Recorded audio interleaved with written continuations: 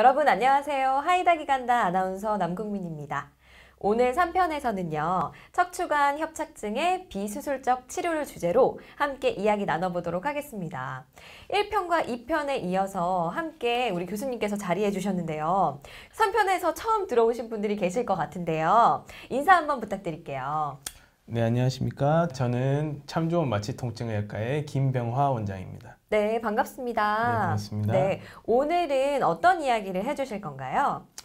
오늘은 이제 많이들 경험하시는 허리가 아프거나 다리가 아픈 이제 노화에 따라서 발생하는 대표적인 질환인 척추관 협착증, 즉 오. 허리의 통증에 대해서 좀 얘기를 해보려고 합니다. 저도 요즘 약간 허리 통증이 있거든요. 잘귀 기울여서 한번 들어보도록 하겠습니다. 근데 지금 말씀해주신 이 척추관 협착증이 어떤 건가요? 네, 먼저 좀 척추관이라는 것은 네. 이 모형을 보시면은 척추뼈와 이제 뒤쪽에 있는 뼈 사이에 있는 이제 터널 같은 공간을 의미하는데요. 여긴가요? 네, 맞습니다. 네. 이 공간으로 지금 네. 이 노란색이 신경인데 네. 다리 쪽으로 내려가는 신경 다발들이 이 공간을 통해서 이렇게 지나서 내려가게 됩니다. 네, 오, 신기하네요. 네. 그래서 이제 어떠한 이유에서든 이 척추관이 좁아져서 안쪽에 있는 이 신경을 누르게 돼서 다리가 터질 듯이 아프거나 아니면은 많이 저리거나 네. 걷기가 힘든 증상이 나타나게 되는데 음, 이러한 질환들을 척추관 협착증이라고 합니다. 네. 척추관 협착증의 이제 대표적인 증상으로는 파행이라는 것이 있는데 쉽게 말해서 이제 다리가 아파서 오래 걷기가 힘든 증상입니다. 음, 좀 앉아 쉴 때는 괜찮은데 네. 이제 서 있거나 걸을 때 통증이 너무 심해지고 다리가 마비된 것처럼 아파서 오래 걷지를 못하고 조금만 걸어도 이제 앉아서 쉬어야만 좀 증상이 나아지는 것입니다. 음, 네, 이 척추관이 좁아져서 이 신경들을 누르게 되는 원인으로는 네. 여러 가지가 있겠는데 네. 이제 선천적인 원인도 있을 수가 있겠지만 대표적으로는 이제 노화 현상으로 인해서 이 척추 주변의 관절과 이 관절들을 연결하는 인대들이 점차 두꺼워지고 퇴행성 변화로 나이가 들면서 뼈 근처에 이제 곁뼈들이 자라나서 안쪽에 있는 신경을 누르게 되는 경우를 들 수 있겠습니다. 그럼 지금 말씀해 주신 것처럼 이 척추관 협착증을 비수술적인 방법으로도 치료할 수가 있나요?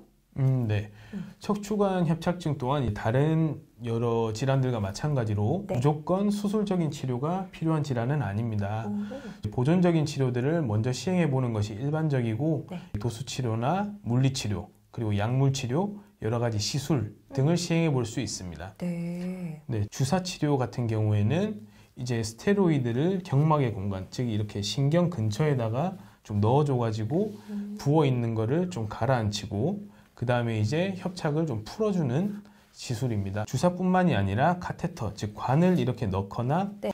스테로이드나 아니면 육착 제거제 같은 약물들을 주입을 할 수가 있습니다. 이 외에도 이제 주변 구조물들을 좀 제거를 해주고 네. 부어 있는 것과 염증을 좀 가라앉혀서 신경이 안쪽에서 눌리는 거를 좀 줄여주기 위한 시술로는 이제 내시경으로 디스크 감압술을 한다든지 아니면은 신경 성형술, 수액 성형술, 네. 그리고 이제 추간공 이 공간을 풍선을 넣어서 좀 이렇게 확장시켜주는 풍선 확장술 등의 비수술적인 치료 방법을 시행해 볼 수 있습니다. 그렇군요. 네, 이러한 보존적 치료 및 이제 음. 가볍게 걷는 운동 등을 꾸준히 하면서 네. 일상생활이 불편하지 않을 정도로 유지가 된다면 네. 일반적으로 수술적 치료까지는 필요하지가 않습니다. 음, 하지만 이런 치료들을 이제 꾸준히 2, 3개월 정도 시행을 했는데도 증상이 호전되지가 않고 일상생활이 좀 많이 힘들거나 협착증이 이제 눌리는 게 급격하게 진행이 돼서 근력이 다리 쪽으로 빠지거나 네. 마비가 생긴 경우에는 수술적 치료를 시행해 주는 것이 좋습니다. 그렇네요. 네. 수술적 치료 같은 경우에는 이 좁아진 척추관을 주변 조직이나 뼈 일부분을 좀 떼내서 네. 넓혀주는 감압술을 시행하는 것이 일반적이고 근데 이제 떼낸 범위가 좀 많을 경우에는 네. 이 척추뼈 자체가 불안정성이 증가될 수가 있어서 네. 여러 레벨의 척추를 고정시켜주는 유압술을 같이 시행할 수도 있습니다. 네.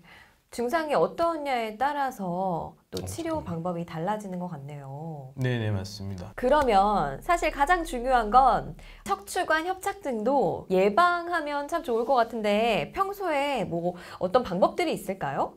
음, 네, 말씀하신 것처럼 네, 질환은 생기기 전에 미리 예방할 수 있다면 예방하는 것이 가장 최우선이겠죠. 그렇죠. 이제 앞서 말씀드린 바와 같이 음. 척추관 협착증이 음. 왜 생기는지를 보면 네, 대표적인 원인은 이제 노화로 인해서 퇴행성 변화 때문에 척추관 협착증이 생기게 됩니다. 음, 이 퇴행성 변화라는 것은 좀 쉽게 생각하면 오랜 세월 동안 많이 써서 무리가 누적된 것인데요. 음. 따라서 이제 척추관 협착증을 예방하기 위해서는 척추나 주변 구조물들에 네. 무리가 가지 않는 생활 습관을 가지는 것이 중요하겠습니다. 힘들지 않을 정도로 좀 네. 가볍게 이렇게 걷는 운동 조기. 그리고 네 맞습니다. 오. 수영 같은 것들이 네. 허리 통증을 개선하는 데 도움이 될 수 있는 운동이고 이 외에도 이제 근력 운동 등을 통해서 허리 근육 자체를 좀 강화시키는 운동들도 도움이 될 수가 있습니다. 그리고 틈틈이 스트레칭 해주는 것도 좀 도움이 될 수가 있으며 반신욕 같은 것도 주변에 좀 혈류 공급을 개선을 시켜가지고 네. 통증을 가라앉히는데 도움이 될 수가 있습니다. 척추관 협착증은 한두 번의 치료로 이렇게 끝내버리는 질환이 아니라 네. 꾸준히 관리를 해나가는 질환이라는 것을 항상 이렇게 염두에 두고 음. 바람직한 생활 습관을 가지도록 노력하는 것이 가장 중요하겠습니다. 네, 말씀해주신 것처럼 이 척추관 협착증이 발생하면 계속 계속 꾸준하게 네. 생활 습관을 개선해 나가는 게 중요할 것 같다는 생각이 듭니다.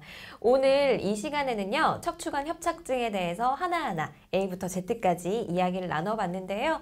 같이 도움 말씀 주신 우리 교수님께 다시 한번 감사드립니다. 네, 감사합니다. 저희는 4편에서 어, 무릎 관절염에 대해서 함께 이야기 나눠볼 테니까요. 4편도 많은 시청 부탁드리면서 저희는 여기서 인사드리도록 할게요.